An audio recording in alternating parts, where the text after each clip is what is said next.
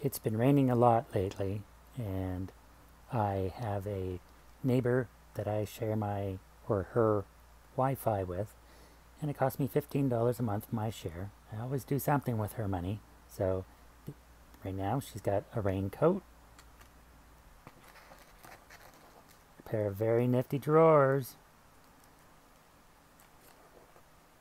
Get in there. And a handbag or maybe it's a hat. I don't know. I, yeah, handbag. Pretty nifty. And no tape. Canadian polymer. No tape.